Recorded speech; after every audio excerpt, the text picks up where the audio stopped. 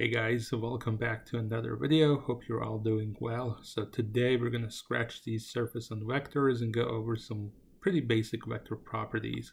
So vectors are often, in my opinion, presented as this like big complicated idea in Calc 3.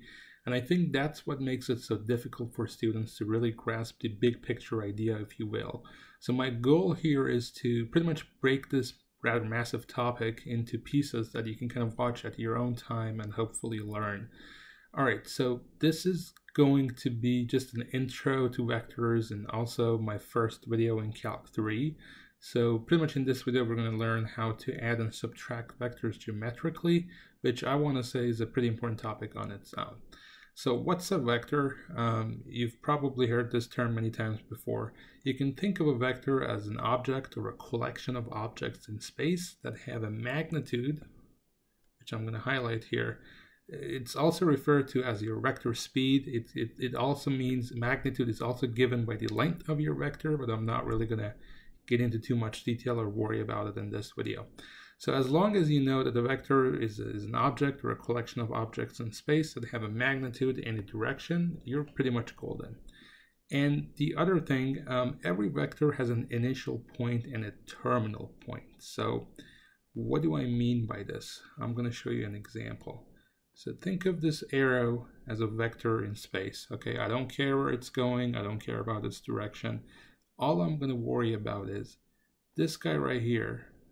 Okay, that's going to be your terminal point or essentially where your vector ends. And then this guy right, right over here, that's going to be your initial point where we're going to begin drawing our vector, okay? And then this whole vector on its own has a magnitude. So the length of your vector is going to be your magnitude, but I'm not really going to worry about that in this video. Also, the other thing that I want you guys to remember is I'm going to call this vector vector v. And then the way I'm going to actually refer to this v as my vector is by drawing uh, like a half arrow on top of it. You could also draw like a full arrow. It doesn't really matter. But if you just leave a v there, nobody is really going to know what you mean. Okay, so just a little notation thing to keep in mind. All right. So now we're going to go over to our first problem and then add these vectors. So we've got vector c here and then we've got vector n over there. And then our goal is to add these two vectors together. So the first thing I'm going to do is I'm actually going to copy these guys. And then there we go, copy, and then I'm going to come over here and then paste them. All right, so that's my vector right there. And if I'm adding two vectors together, all you have to do is take the initial point of one of your vectors and connect it to the tail or the terminal point of the other vectors. That's all you have to do with every vector problem, okay? Every vector addition problem, okay? And it's, it's super easy. So all I'm doing here is I'm gonna I'm gonna take my n, oops. I'm gonna take my n right here, vector n, and then I'm gonna grab this vector n and basically connect the initial point of my vector n to the tail tail of my vector c okay? That's all i'm doing here okay? And just like adding two numbers together you know if i add 6 plus 1 it's going to be 7 so if you add vector c to vector n you're going to get a new vector okay? And then i'm going to draw this by a red pencil so you can red pen so you can kind of get the idea and that's going to be your vector c plus your vector n. All right? That's all you have to do. Take the initial point of one of your vectors and then connect it to the terminal point of the other vector. Repeat this in your head as many times as you know it takes for you to learn it. And then order doesn't matter here, but keep in mind, and, and I can't really stress this enough, do not change the direction or the length of your vector, okay? If you do that, you're going to get the problem wrong. So just, just keep that in mind, okay? And then let's go over to our second problem here. So we're adding vectors L plus vector D, okay? So L's going in one direction, D's going in the other direction. So again, I'm gonna I'm gonna take that vector because I'm gonna run out of space over there, copy it, and then I'm gonna come over here and then paste that guy. There we go.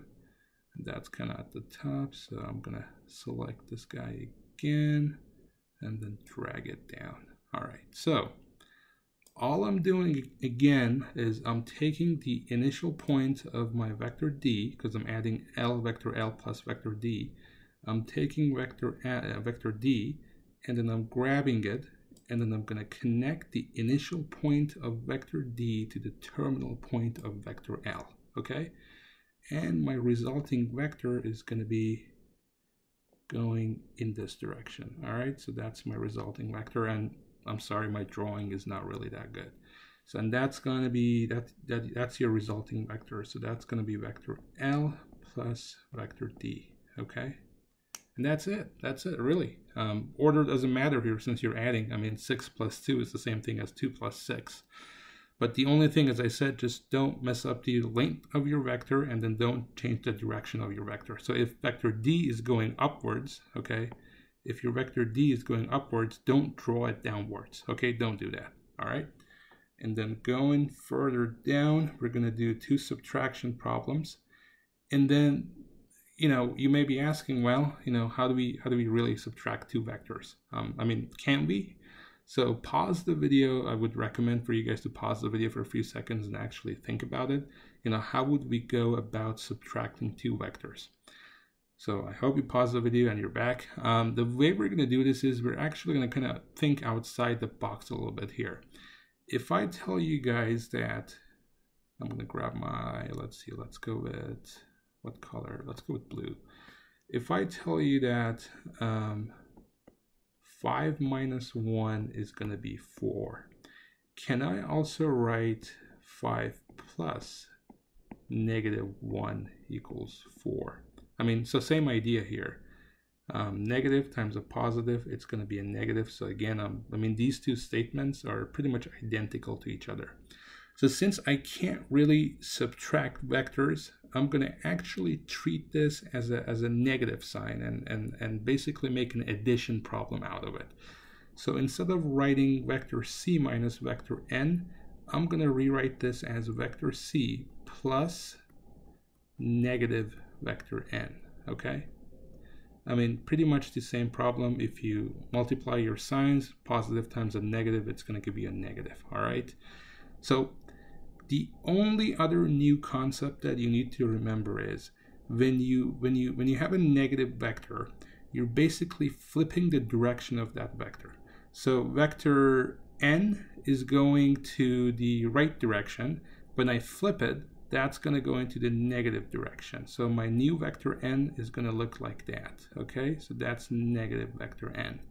And that's all you're really doing. So I'm going to go down here and then you can I'm going to actually erase this. So let me let me copy this problem from here.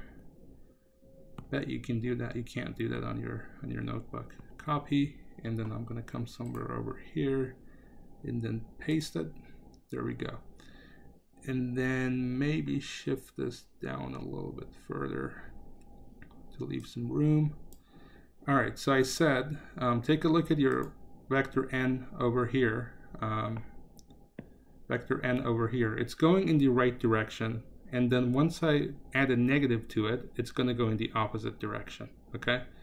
So that's negative vector n. And then that's all I'm going to do here. So if you take a look, that's my vector n right there.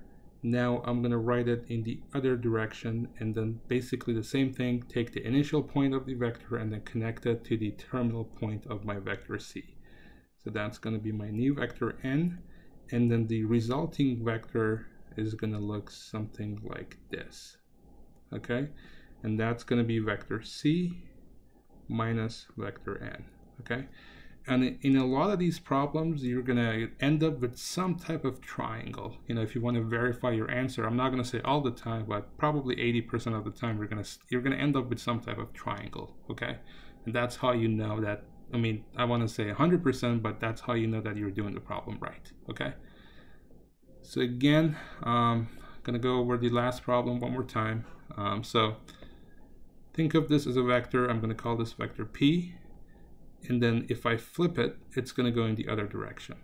So that's going to be negative vector p. So that's all I want you guys to remember. If you have a negative vector, it's only going to go in the opposite direction. Okay, so if I have a vector that's going to go up, I'm going to call this vector L. The opposite of that, that's going to be my negative vector L. Okay, so it's going to go downwards. If you can remember this concept, you're not going to have a problem. So, oops, let me get rid of all of these. Come on, eraser. All right, so last problem here, I'm subtracting vector A minus vector B. All right, cool. So let me let me actually copy this. Actually, I don't need to copy. I'm just going to redraw it. So again, just remember that you're not changing the direction of your vector and, or the length of your vector. Just leave that as it is. So that's my vector A, all right? And then I'm subtracting that from vector B. So I'm going to rewrite this problem as A plus, oops, I want to be neat here. So that's going to be A plus negative vector B okay? And then again, positive times a negative, it's going to be a negative, all right? So that's essentially going to yield me the same result as vector A minus vector B. And then my vector A is pretty much going to stay the same. And then vector B, I'm only going to change the direction. So if vector B is going in that opposite, in that, uh, what do you call it? It's going in that vertical direction. The new vector B is going to go downwards. Okay, so that's going to be my new vector B. So I'm going to redraw that as my vector b here. Instead of going up, we're going down. And then that's going to be my vector b. And then the resulting vector of, the, of, of a minus b, that's going to be my resulting vector. And that's going to be a minus vector b, vector a minus vector b that's really it. You know, in terms of adding and subtracting vectors geometrically, there is not a whole lot into it. It's super easy. So I hope this video helped you guys. Um, if you're stuck with anything, drop me a comment and then I'll get back to you as soon as possible. Hope this guy, I hope you guys enjoyed this video. I'm kind of tired and then I'll see you in the next one. All right, peace.